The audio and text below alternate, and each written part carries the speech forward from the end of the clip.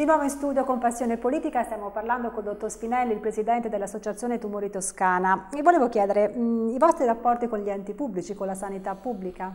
Allora, i nostri rapporti con gli enti pubblici sono dei rapporti, direi, eh, personalizzati perché eh, abbiamo dei rapporti con tanti medici di famiglia, tanti eh, reparti ospedalieri e, e, quando il rapporto è consolidato e quando l'approccio del malato alla nostra associazione è un approccio attraverso le istituzioni pubbliche è sicuramente un approccio migliore perché il malato in qualche modo viene dimesso dall'ospedale e c'è una storia che ci viene raccontata certo. in maniera tecnica da, dai tecnici e, e, e, la stessa cosa per il medico di famiglia. Altre volte i malati ci arrivano perché ci hanno conosciuto, perché hanno visto il salvadanaio dell'associazione o perché hanno visto magari una trasmissione come questa o sono venuti a, o, o, hanno visto i nostri volontari che raccoglievano i fondi nelle piazze. Direi che i rapporti sono molto buoni, sono anche lì molto cresciuti di fronte alla diffidenza iniziale che ricordo. Eh, ma che grazie alla giovane età probabilmente riuscivo a vincere più facilmente di quello che potrei fare oggi. Eh, Direi che dopo c'è sostanzialmente nei confronti dell'associazione da parte della, dei medici che lavorano soprattutto nel campo oncologico, della radioterapia, oncologia o anche gli internisti e i medici di famiglia fondamentali per le cure a casa sono loro i deputati principali della responsabilità del malato ce l'hanno loro, direi che negli anni si è evoluta eh, in modo al, al, punto che abbiamo anche avuto, per dei periodi avuto anche delle convenzioni, eh, ovviamente che queste convenzioni avevano uno scopo non tanto economico perché capisce bene che eh, i costi dell'associazione sono talmente tanto elevati che eh, dovremmo avere una convenzione che, che per coprire i nostri, i nostri costi eh, sarebbe molto importante, però questo non, mai, non ci siamo mai riusciti. Però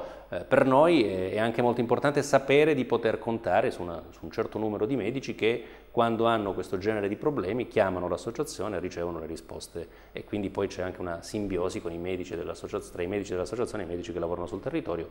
Direi che questo si può fare ancora di più, ancora meglio, per carità, però credo che se penso ai 20 anni passati si, può, eh, si sia fatto, 21 anni passati si sia fatto molto. Ecco, i vostri obiettivi Ah, I nostri obiettivi in questo periodo di, difficile per noi sono il pareggio di bilancio, perché mm. ovviamente in questi ultimi anni è molto più difficile raccogliere i fondi, certo. la crisi purtroppo eh, la sentiamo anche noi, anche se noi reagiamo pensando sempre alla faccia dei nostri malati o di chi ci richiede l'assistenza e quindi cerchiamo di trovare le nuove energie per superare tutto ciò. Quindi eh, cercare delle nuove risorse che non necessariamente siano economiche immediatamente, ma che siano delle risorse in termini di volontari, di persone che vogliono bene all'associazione e che l'aiutino a crescere ed andare avanti e a mh, mettere su delle, delle così della, una, di avere una maggiore stabilità. E questo ovviamente potrebbe generare un maggior numero di medici che lavorino, che possano lavorare per l'associazione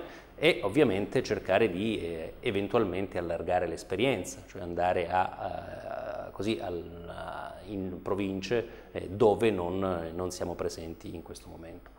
Allo stesso modo abbiamo anche un obiettivo eh, nazionale che è quello di eh, dare, dal nostro punto di vista, le associazioni molto grandi, le associazioni nazionali che si occupano di curare i, i malati o di alt, altro genere, eh, possono perdere un po' il rapporto con il territorio. Quindi pensiamo che eh, il nostro obiettivo non è quello di mettere tante bandierine in tante regioni certo, d'Italia o in provincia, certo, ma è quello di certo, dare il certo. nostro know-how, come spesso ci succede, ci chiamano da varie regioni o province per dire ci date una mano ad organizzare un servizio come il vostro. Ecco, il nostro know-how noi lo vorremmo mettere a disposizione degli altri per far sì, perché il nostro obiettivo principale, è che ogni malato di cancro possa avere a casa gratuitamente tutto ciò di cui ha bisogno e possa anche in un momento così difficile la nostra società dimostrare di essere eh, così culturalmente e anche materialmente elevata da potergli garantire eh, gratuitamente a casa uno standard di cura elevato. Allora, le volevo chiedere, leggendo, informandomi un po' su di voi, mh, ho visto questo, questo, eh, accento marcato tra nel, nel, che riguardava il passaggio tra l'ospedale, le cure domiciliari e anche il passaggio alle cure palliative. Una, mh, voi l'avete definita una, una, fase molto delicata, perché delicata? Ah, perché delicata? Perché... Eh... Secondo noi eh, parlare di cure palliative è un po' riduttivo, rispetto a quello che è prendersi cura del malato. Mm. La differenza è molto sottile ma per noi molto importante. Palliative vuol dire eh, il paziente eh, ha un sintomo, noi controlliamo solo il suo sintomo. Noi abbiamo un obiettivo che è molto più ambizioso, molto più eh, anche difficile da raggiungere, che è quello di prendersi in cura in toto del malato, cioè non solo del suo vomito, della sua, ma anche, un esempio banale, stupido, devo fare una consulenza, domani devo andare in ospedale, ho il problema di arrivarci mi potete accompagnare? Ho bisogno di fare questa consulenza, non so dove battere la testa, mi potete mandare a casa un medico che mi possa fare questo? Ho un problema di altro genere eh, che è anche legato alla mia patologia, ma ci vuole uno specialista, me lo potete portare a casa? Ecco, prendersi cura vuol dire questo, prendersi cura in toto della persona e del malato e eh, se fosse possibile anche della famiglia, perché le situazioni familiari non sono tutte così idilliache. Purtroppo eh, molto spesso il malato è un malato anziano, ha una, una moglie o un marito anziano, ha i figli che vivono lontano, ha i parenti che tutti i giorni devono andare a lavorare perché la vita continua e devono andare a lavorare. Quindi eh, come si fa ad andare a, al mercato? Allora arriva un nostro volontario, che non è un professionista, che non è pagato da noi, che ti dà una mano per andare al mercato o passa un po' di tempo con te per eh, far sì che la giornata sia meno greve, meno pesante. Certo. Allora, le, mm, le, volevo chiedere ehm, a che punto siamo in Toscana nella cura dei tumori? Ora la domanda è universale, me ne rendo conto, ma eh, il cancro è un qualcosa che nell'immaginario collettivo è comunque spaventoso, no? che toglie la speranza soltanto a pronunciare una parola.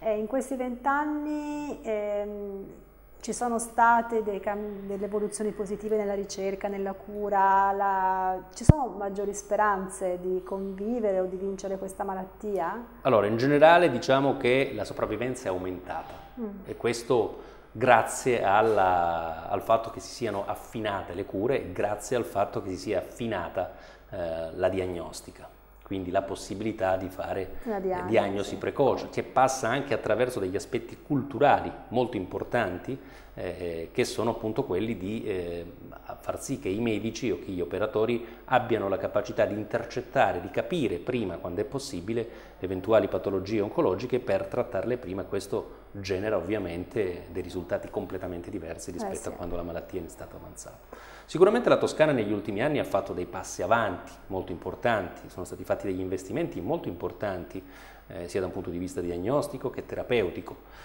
E quello che io come presidente di associazione di volontariato che eh, fa parte anche, che lavora eh, nel sistema eh, sanitario toscano eh, chiede ovviamente che tutto ciò possa ancora essere migliorato. Eh, ecco, ma i margini è... di miglioramento dove sono? Ma i margini di miglioramento sono nell'organizzazione, mm. secondo me. Eh, noi in generale come, come tipologia, di come possibilità di prestazioni potenziali credo che non siamo nessun, secondi a nessuno. Manchiamo nell'organizzazione, manchiamo nel, negli ingranaggi, manchiamo nella capacità, e lo dico da medico, di noi medici di collaborare tra di noi mm. in maniera tale da non pensare di poter fornire da soli delle risposte per delle patologie così importanti. Noi possiamo soltanto unendo le nostre forze, le nostre capacità, avendo una maggiore umiltà, eh, mm. e lo dico prima di tutto a me stesso in questo momento, nei rapporti con gli altri medici, possiamo migliorare quello che facciamo, cercando di fare dei passi indietro in maniera tale da avere una maggiore collaborazione. Ecco, una maggiore collaborazione, secondo me, che non sia legata soltanto dai, dai rapporti personali o di amicizia, eh, è auspicabile, questo da un punto di vista umano, e anche poi nell'organizzazione, nella, nella, rete delle cure, eh, che dovrebbe essere più integrata, senza pensare ai campanili, senza pensare a mm. tanti lacci e lacciuoli che purtroppo ci sono e non possiamo eh, far finta di non vederli perché certo. ci sono, e cercare di superarli pensando sempre che l'obiettivo è quello di eh, curare i malati. Certo. Fondamentalmente quello, primo e ultimo, è lo stesso che deve avere l'associazione, è lo stesso che si, debba, si, deve avere quando si fa questo mestiere. Poi siamo tutti di carne e osso, ovviamente possiamo eh, avere, fare degli errori, però non dimenticarselo mai, almeno una volta al giorno ricordarsi qual è, perché noi siamo lì, perché vestiamo un camice bianco, perché andiamo a casa dei malati e perché dobbiamo curare loro. E per curare loro eh, dobbiamo essere in una condizione eh, noi eh, di tranquillità, di equilibrio, di, eh beh, sì, certo. di, di, diversa eh, rispetto a quella eh, alla situazione nella quale andiamo, che certo. quindi ha certo. bisogno del nostro supporto. Se noi già arriviamo scarichi, difficilmente possiamo dare la carica ai malati. Allora, lei consiglierebbe quindi a un giovane medico di intraprendere un'esperienza con voi? lavorare con la TT? Mm. Mm. No, io consiglierei, pensavo che la domanda fosse di, di, per un giovane che desidera di fare medicina. Guardi, io credo che eh, un'esperienza come quella all'interno della nostra associazione sia un'esperienza di altissimo livello, eh, sia culturale, perché hai una tua autonomia, a casa del malato sei solo, non sei come in ospedale, dove c'è il medico più anziano che ti può aiutare o anche l'infermiera se ha difficoltà a trovare una pena, magari più bravo del medico alcune volte. E anche da un punto di vista umano. A me personalmente mi ha fatto molto crescere, cioè entrare in delle case, in delle situazioni dove tu puoi vedere un bambino molto piccolo che ha il padre o la madre che sta per morire di cancro e le dinamiche familiari, penso che eh, sia un esempio di grande eh, maturazione, può, può, generare una grande maturazione in te come medico, ne hai bisogno, perché bi abbiamo necessità noi medici di avere questo tipo di, di approccio, questo tipo di capacità, eh, che non sia con altri valori ma con questi valori. Quindi io lo consiglierei, poi può decidere se farlo per tutta la vita o farlo per un periodo, periodo. però un periodo credo che possa essere formativo per tutti, sotto ogni profilo, sia tecnico-scientifico che eh, soprattutto umano. Allora, e con questo concludiamo la trasmissione, la ringrazio, la ringrazio tanto di essere venuto con noi, voi avete visto durante la trasmissione sono passati eh, sia i contatti per mettersi appunto in contatto con l'associazione Tumori Toscana che per eh, fare una donazione se volete attraverso il 5 per 1000, quindi grazie ancora dottor Spinelli, grazie a voi per l'attenzione, buona serata a tutti voi.